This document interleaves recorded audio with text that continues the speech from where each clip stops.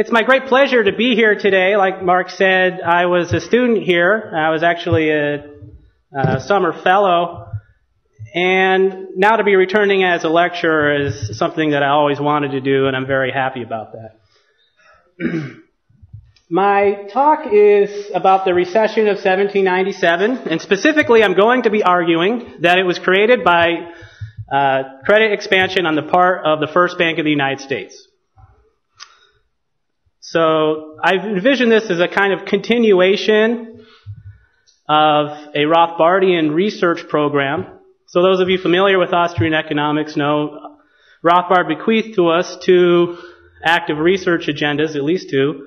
One being applied anarcho-capitalism, which is near and dear to my heart, but I'm not going to be talking about that today. And the other one is revisionist economic history, which is what I am going to be engaged in.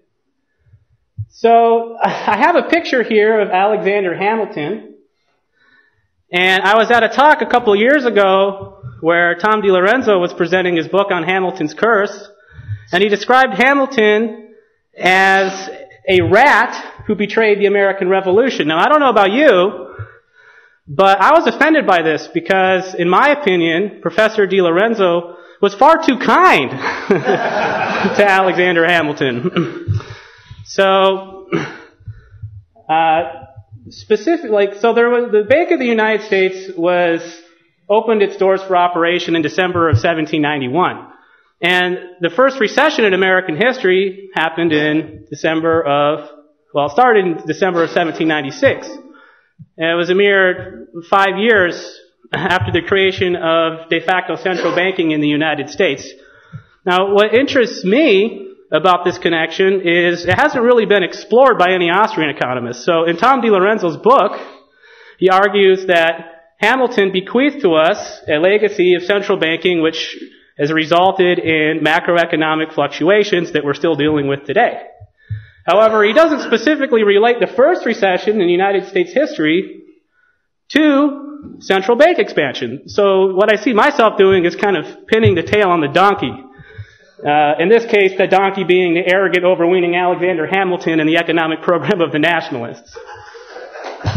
So, okay, let me just.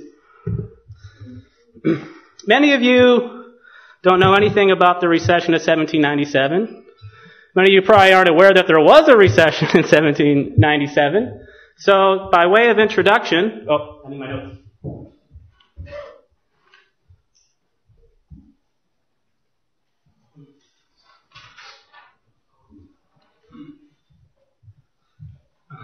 Sorry about that. So by way of introduction, uh, I'm going to begin with some historical details about the recession. This is Robert Morris, the infamous Robert Morris, who was the sort of uh, guiding father of Alexander Hamilton and, his nationalist party. And in February, February 1798, after a spectacular fall from fortune, uh, Morris who was the, the famed financier of the revolution and was previously one of the wealthiest men in America, uh, was arrested and put in debtor's prison.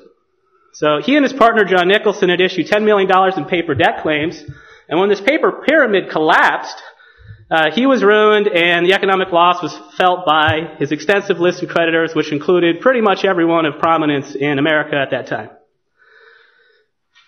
Uh, Morris and Nicholson weren't alone in their fate. Uh, they're just the biggest players in a recognized bubble of speculation. Uh, this bubble began to burst in late 1796, leaving a flurry of economic failure and distress in its wake. Uh, so Jefferson proved prescient when he wrote, quote, the prison is full of the most reputable merchants, and it is understood that the scene has not yet got to its height, close quote. So that was a letter to Madison. Uh, the contemporary Theodore Sedgwick was delighted by the, bursting of this bubble. So he said, quote, uh, this, you know, the bursting of this bubble is a very happy circumstance, though vast numbers and among them many worthy people are involved and ruined by it, close quote. So he's sort of like the Murray Rothbard of his day. I could just imagine Murray. he's like, oh, you gotta flush out those malinvestments. Uh, so, the uh, ruin of these well prominent traders uh, wasn't contained to them alone, but it was there's actually more widespread economic downturn. And as you can see from these figures on GDP per capita, uh, it, GDP fell from a peak of 1, or per capita fell from a peak of $1,284 in 1796 to $1,216 in 1798, which was a decrease of about 5.3%. And industrial production fell as well, this is the index by Davis. That's a little, little less suspect than the GDP figures that we have. And it shows a, a fall in industrial production of a little over 7%. So the nascent American economy was experiencing its first recession. So what caused this recession? so I'm going to argue that it was caused by big expansion on behalf of an overexpansion by the engaged by the Bank of the United States. So uh, when it uh, began operations, it immediately started to pump in uh, new injections of credit into the economy with an at initial capitalization of two million. I'll show you numbers in a minute here, but you know, it reached about a number of about seven seven million by 1794, and this was on top of an original money supply of like 10 to 15 million, so that's a pretty significant significant increase. So obviously, all this credit expansion resulted in inflation, and a reduction in interest rates. So the uh, inflation sort of created a, dis, I guess a, a disjunct, or marginal disincentives, I guess, to saving and lending. And there was malinvestment. We'll get to that. And this sort of overexpansion was brought brought back into heel through the price specie flow mechanism. Uh, in other words, uh, there was an overexpansion which created disparities in the price level between America and other economies. Uh, so this caused a reduction in net exports, and to pay for the you know trade balance, specie was exported abroad. There was a credit contraction and a monetary contraction, uh, you know, beginning in late 1796, and I guess the highly, leveraged traders experienced a credit crunch and they began uh, suffering economic failures. Suppose I should say a couple words really quick about the, the, the Bank of the United States itself. It sort of represents the culmination of Hamilton's liquidity expansion scheme of the 1790s. Uh, so there was multiple planks of this program. The most pertinent ones to this discussion were the assumption of the state and continental Congress debts that were issued to finance the revolution. So Hamilton, of course, wanted to assume these debts to create uh, a class of special special interest that would support the, the federal government, and he wanted to benefit uh, northeastern mercantilist interests. And so, as part of his speculation scheme, uh, the, the individuals who wanted to buy into the uh, stock of the First Bank of the United States had to pay three fourths in uh, newly created uh, federal government debt, bonds, you know, debt instruments, bonds. And then the, the bank itself would also provide the means to sort of pay back its obligations. So it's like the circularity. I think Tom DiLorenzo has it right when he calls it a bank job. Um, so I guess the first question we have to explore is, was the expansion that took place uh, just a normal credit expansion or was it an overexpansion? So expansion of credit in and of itself isn't necessarily a bad thing, right? In an advancing economy, that's what we want. It represents, you know, causes increased wealth. Uh, the problem is only if there is an overexpansion, which is why central banking is bad. So, in the early 1790s, a lot of historians and economists have argued that uh, the American economy was credit constrained, it was liquidity constrained. So, in other words, individuals might, or traders or merchants might have ideas that for business ventures that would potentially be profitable, would probably be profitable, but they're unable to obtain financing because of the lack of scarce specie. And so this expansion by the U.S., far from being a bad thing, was actually just a means in which people could accomplish the, you know, the gains from trade. Uh, uh, intermediated through the financial system of the bank. And so I, have labeled that the benign expansion hypothesis. And, you know, there's some truth to the fact that the economy was credit constrained, but in opposition to this benign expansion hypothesis, I want to alter my, uh, offer up my alternative malignant expansion hypothesis, in which I claim that the BUS overexpanded, setting into motion a, a classic trade cycle, the sort that, you know, Ricardo would have talked about. So whenever you're engaging in this sort of applied historical work, you have to ask yourself two questions. One, does the economic theory you're using make sense? And then two, you know, did it actually happen? So this is sort of like the difference between validity and applicability in praxeological law.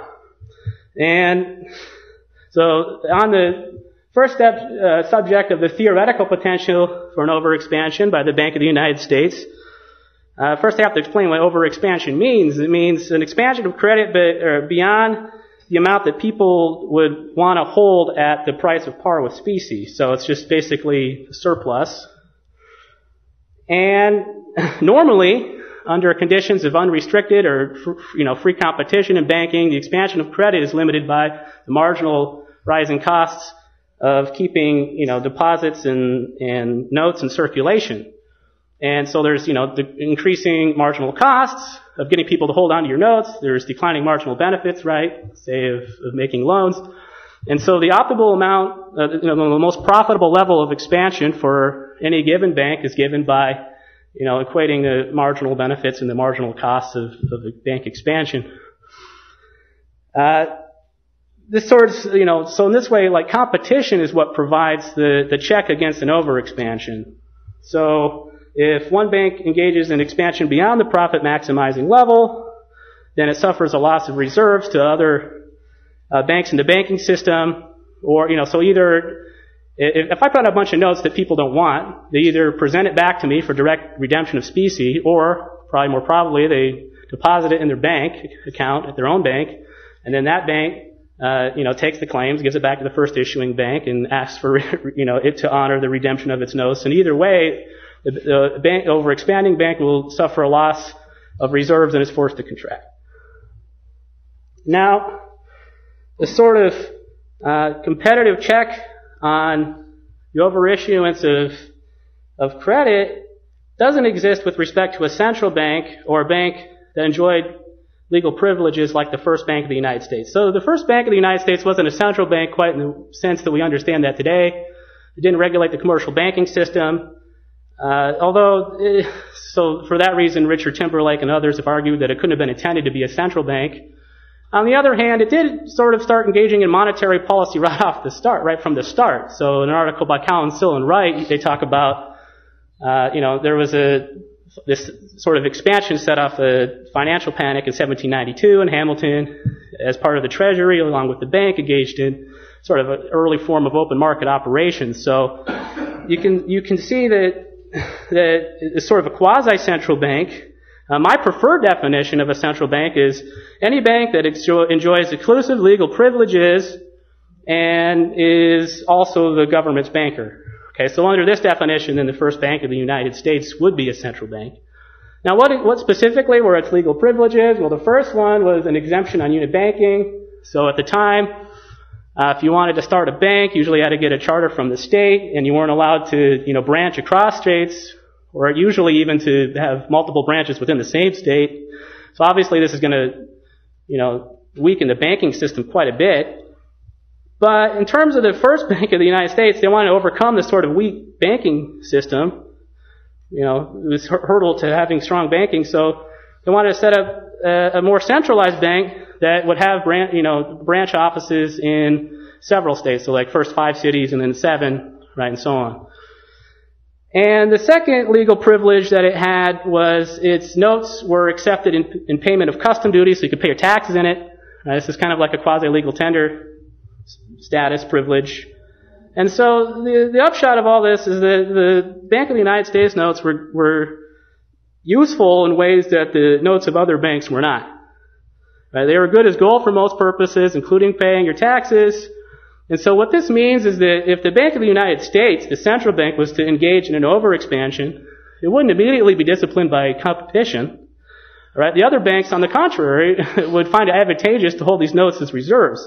Right? Why? Because it's sort of a, a cheaper substitute for gold, or it was actually silver at this time, for specie. So, on the theoretical side at least, it seems to me that there could be an overexpansion. So the question is, was there an overexpansion? Well, in order to engage this empirical evidence, uh, I'm going to ask a couple of questions. First, how big was the expansion, like against compared to the existing money supply? But the key, you know, link in my argument is going to hinge on whether or not you think it's big enough to have influenced uh, prices. So, you know, the, the, wholesale level of prices, interest rates, and, and international trade. Uh, well, let's see how big it was. So here's the selected items from the balance sheet of the First Bank of the United States. The, the red note is the, the banknotes and deposits, and you can see it starts off at basic, well, zero in 1791, and then shoots up immediately to about two or three million. There's this sort of minor contraction that takes place, and in 1792, around March of 1792, there was actually a securities, the first securities bubble popped in the United States, and so some economists have argued that it was this contraction that caused that. But you can see it's relatively minor, right? It's sort of almost an uninterrupted expansion all the way until 1794. And so you see by 1794 it hits a peak of eh, about 7 million-ish and then it kind of tapers off, right, for, Know, some of the remaining years. And as you can see, uh, here's a, a, graph of the mon- some select monetary components. This is the graph I just showed you basically on BUS banknotes and deposits. And, you know, this is the amount of specie, and then this is the M1 or whatever, the, the, the full money supply. And you can see that there's basically uh, going to be an inflation all the way until 1795, and then uh, there's you know suddenly the, a, deflation after that. So there's kind of like this wild swing in prices. To, as you know, evidence of that, here's the CPI inflation rate over the 1790s. You can see in the early half, inflation was below 5%, and after the, the BUS goes into business, it shoots up, you know, to double digits, 10%, 14%, uh, and then, you know, suddenly it collapses. So just to anticipate my argument, the sudden swing's probably not a good thing, right? For economic activity. Same with uh, wholesale prices. They're even more volatile than the, you know, average price level. So you have, you know, a negative 30% wholesale price prices falling by 30% in 1791, and then all of a sudden it shoots up to 60% and then shoots back down to negative 30%, right? Well, what's the consequence of, so I, for the moment I just want to concentrate on the expansion, so, and the inflation. So what's going to be the immediate consequence of this inflation? Well, you would assume that uh, the if the market so it enters the the market at a specific point, right? So there's uh, Cantillon effects, and presumably, if it enters in the market for loanable funds, and the market's going to clear after increasing the supply, then the price has to fall. And that's all I'm showing here. So uh, what I'm saying is that the, these are, this is just a calculation of the real yield. So interest rate data is difficult to find. Um, in the 1790s, this is the, but this is the real or inflation adjusted yield, this red line. Oh, sorry. So this is the real yield or the inflation adjusted uh, interest rate basically. So the standard methodology is the uh, the rate on U.S. Treasuries represents sort of like the riskless inflation rate. Well, that's not necessarily the case here because well, these U.S. 6% bonds were new and maybe there was a risk premium. But in that case, then you know some of that uh, it, it would actually be this line would be too high. so it's actually you know good for my argument, not bad. So you can see that starting around 1792-ish, uh, you know, the real interest rate takes a steep nosedive, actually becoming negative. And so you have to think about what kind of incentive is this going to give to entrepreneurs. And what I'm, like, I have no direct evidence of this here, right? But I'm arguing that uh, this expansion creates a deviation in the, uh, you know, interest rate, and it's making it lower than what the natural rate is. So the actual rate's lower than the natural rate, and you're going to get you know, investment, classical sort of BUS style cycle.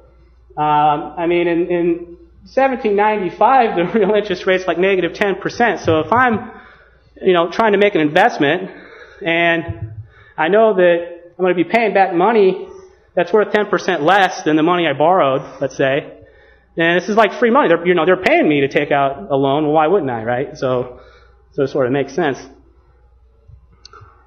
Oh. So, okay, so, so there's this overexpansion, uh, the BUS. Well, what, what corrects the overexpansion? So I just argued that it's not going to be by competition, but as an economist, we know if, if there's a disequil, well, disequilibrium, it's there's going to be forces that tend to bring it back into equilibrium, right? Or at least into line with what people's preferences are. And in this case, the correction mechanism is brought about by the price specie flow mechanism. So, as I was explaining earlier, uh, you know, the differential in price levels causes people, you know, Americans to purchase uh, more foreign goods, foreigners to purchase less American goods. You have to clear the trade deficit. You export money abroad right? But the problem with this, well, there's two problems with this as opposed to the, uh, what, you know, under the, you know, free competition. And the first one is that the process of adjustment slow, right? So I'm arguing this takes several years for this whole discoordination to work itself out. And, you know, it requires a sort of painful monetary contraction to take effect. And the other thing is the loss of reserves aren't limited to the overissuing bank, but affects the banking system as a whole, right? So, you know, foreigners are asking, you know, or people are making purchases abroad, and to pay for that, they're asking, they need specie, and the specie is coming from wherever their bank is, not necessarily the overissuing bank. well, okay, so was there actually uh, decline in X exports? Well, let's take a look at the current account, actually the capital account, or what, either one. There's the option. So, all right, well, we notice that inflation sort of hit it. Here's where the expand, like the credit expansion sort of tapered off. 1794, where where the sort of uh, price swing began, and around 1794, 1795. Well, you know, there's uh, exportation of specie of 13 million dollars. That's basically the same as drop that I showed you earlier in the monetary components, right? So where's the where's the gold going? Like earlier, I showed you that uh, you know, the specie was declining. Well, where did it go? Well, presumably people aren't melting down silver to make candlesticks, right? It's going overseas. And that's just what I'm showing you here. Uh, okay, so why, why was this a problem? Well, you can see, starting in 1795, the, the, there's a there's a, this correction that I explained before. The prices start falling and the real interest rates shoot up. Oh, I'm sorry. Uh, and so so the real interest rate starts shooting up, and at the time, what you have is people are mostly borrowing in accordance with the real bills doctrine, right? So there's short-term lending, and so if I'm financing, uh, you know, my enterprise, I'm basically borrowing short and then have to keep rolling it over. Well, what happens to these uh, traders, you know, starting, well, just look at it. You know, what, when would you predict the problem, problem's going to set in?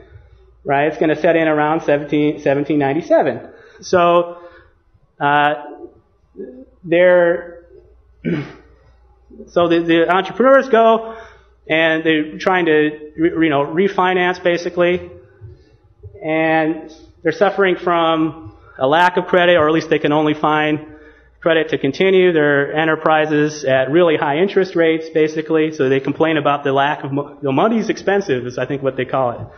So basically, what what the problem is is this credit crunch is squeezing them out, and, and they all start start failing. I just briefly want to talk about some alternative explanations. So, uh, this, recession hasn't been talked about too much by either historians or economists. Uh, the Nobel Prize winner, Doug North, basically ignores it, right? So in his book, his early work on uh, economic growth, he's looking at this period, you know, the early from like 1792 to 1860, and he argues that, uh, you know, this was a period of uh, you know, very strong and sustained economic growth in the United States.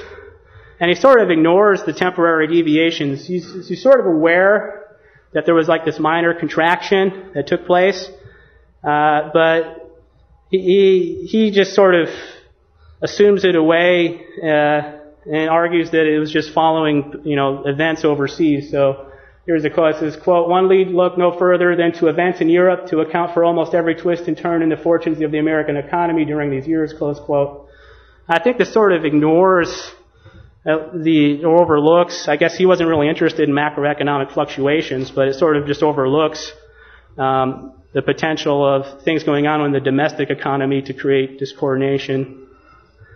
And uh, there's this other guy, Richard Chew, who's a historian who wrote an article very recently, and he argues that the, the recession was caused when the Bank of England suspended specie payments of 17 in February of 1797, and then that combined with French privateering during the Quasi-War and the yellow fever sort of combined to create this like you know perfect storm. And to me, this is kind of a historian's explanation. So usually, you know, if there's a problem, right? They don't have, usually don't have theory, economic theory, so they say, well, what happened before that could have caused it? Anything that looks bad, uh, they sort of just latch on to. And in this case, uh, the, the yellow fever, well, you know, there's war and disease basically throughout this period, so why specifically does it happen now? And the argument that the Bank of England's suspension of specie payments caused the the depression might make sense, but remember, it's kind of hard to understand how suspension of specie payments in February 1797 can cause an economic contraction that began in February 1796, or I mean in December of 1796.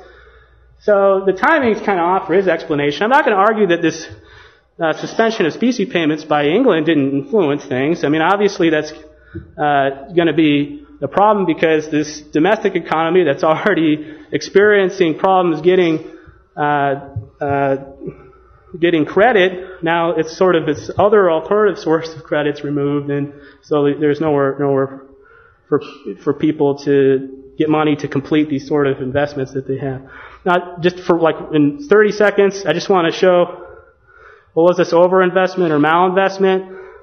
Well, it's kind of hard to and the evidence is kind of sparse, but here is just a preliminary table of highly capital intensive industries that went, you know, bankrupt over the, like, in, so this is the year where they started. These are the failure rates. So in particularly in manufacturing, most of these large, particularly like the SUM, Society for Useful Manufacturers, uh, you know, went belly up. And so it seems like there's some, there's definitely some evidence that maybe it's not just a sort of overinvestment story a la you know, Lucas, but there might actually be a discoordination in the intertemporal structure of production uh, as argued by, you know, sort of macro-based, uh, or macro-based micro, macroeconomics, or capital-based macroeconomics. So, oh, so in conclusion, I just want to say that I hope I've persuaded you into looking into, uh, so this in more detail, other Austrian scholars, um, I believe the recession of 1797 constituted a failure of legally privileged central banking, right? First by artificially lowering interest rates and stimulating investment and discoordination, and then by creating a county-wide contraction as the credit was forced to uh, to come back into equilibrium. So thank you.